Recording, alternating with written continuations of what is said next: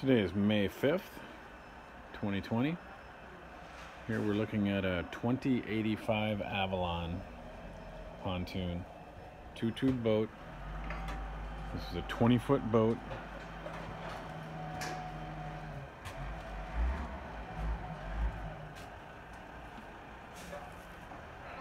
One thing this boat will have that might be desirable is a big rear platform. One thing Avalon is famous for. There's a good uh, three feet of platform back here. I can power this with a 90 horse Honda. I can put it on a single axle trailer.